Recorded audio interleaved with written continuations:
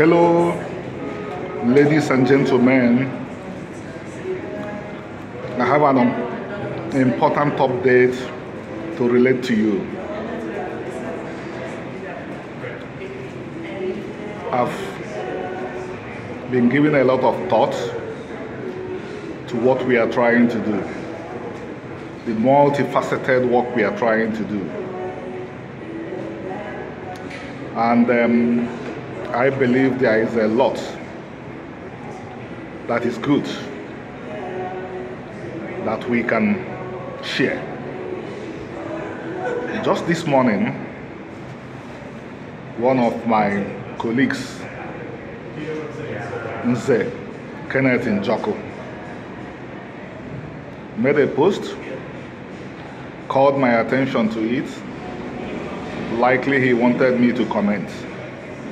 And because he's one of the few persons, not one of the few, because I actually respond to many people, but I responded to him. He wanted me to look at what could amount to an appropriation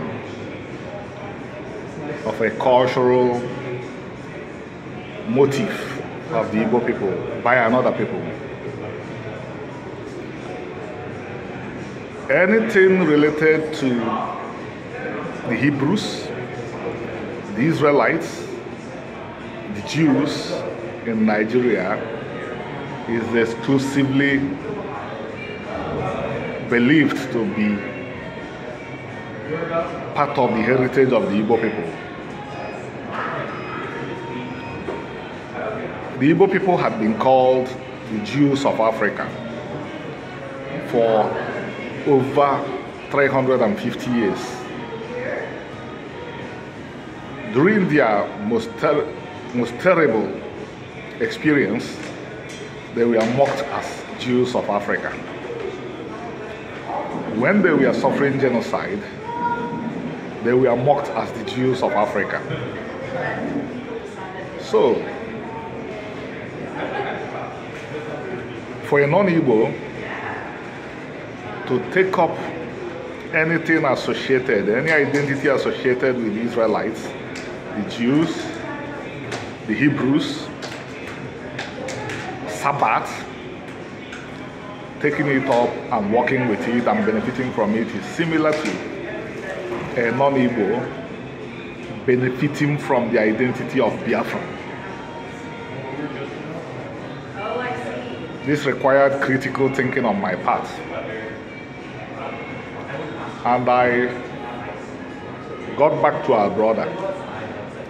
I told him, Ken,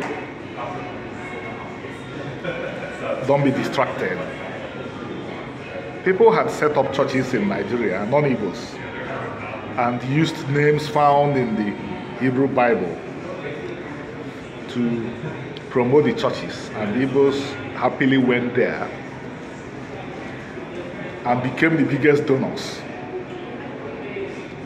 What I just described is similar to a non Israelite inviting the Israelites of the Bible to come and learn the history and culture of the Israelites of the Bible from those non Israelites. And this has happened before our very eyes. Igbos are supposed to teach Nigerians the Hebrew Bible, the Old Testament. But Igbos have not done that. So don't be distracted. What you are seeing is what you should be seeing. Because the Igbo society was fractured during colonial times, and what we are trying to do is to rebuild it, to reconstitute the nation. Now, we will get into the update that is very important. 20 years ago, before we began the work we are doing today, only very few Igbos would have noticed that the cultural appropri appropriation going on. But that today, we can find an Igbo becoming concerned when a non-Igbo begins to use terms like biblical Reuben, biblical Judah, biblical Gad, biblical Zebulon, Le- Levite. Shows the Igbos are waking up. And by the way, how many people do you need to rebuild a nation? Precious few. You don't need the whole world to come together and rebuild a nation. What you need is a faithful core group. Believers, people who will be ready to maintain action in the face of adverse conditions. And this group has, by the grace of the Almighty Chukwu, arisen. We have done the needful, and God has come to our rescue.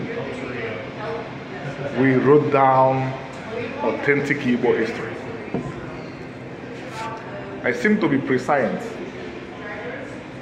Anti-Semitism and sex. Think about the news. Think about the news since October.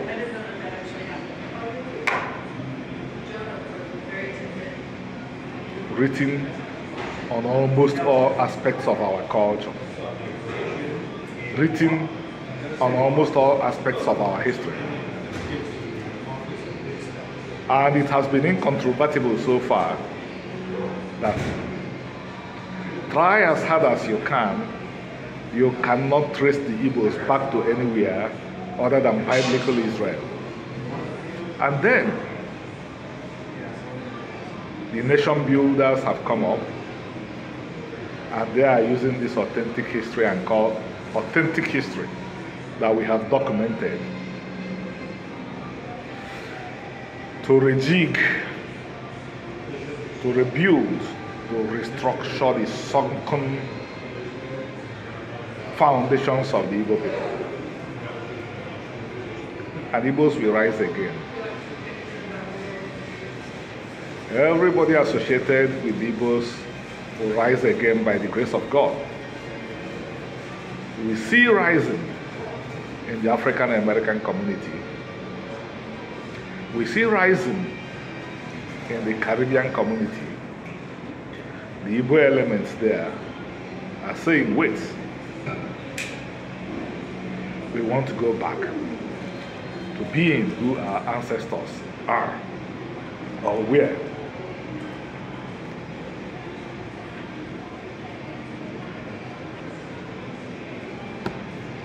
I wish this was palm wine, the only liquor produced in biblical Israel. We can't have palm wine, so we have sizzling, fizzy water. But it will do the job while we continue to engage. And my good friends, before pausing, before stopping for the day and wishing you Shabbat Shalom, if you can get this anti Semitism and Igbophobia, please try to. We are going to defeat anti Semitism. If we don't, after finishing with the people of Israel in all their manifestations, it will manifest in other forms and continue to torment humanity. So, all people of goodwill should rally around and let us fight hate. Thank you. Bye bye. See you after the Shabbat.